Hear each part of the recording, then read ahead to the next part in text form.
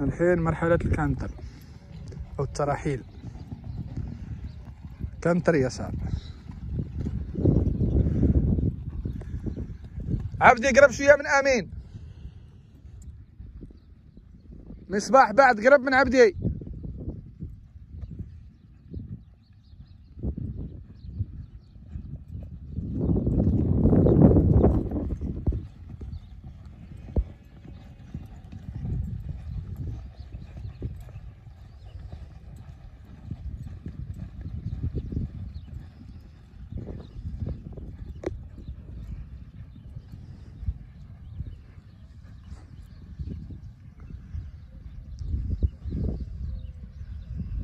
هذه مرحلة ال canter أو التراحيل من بعدها.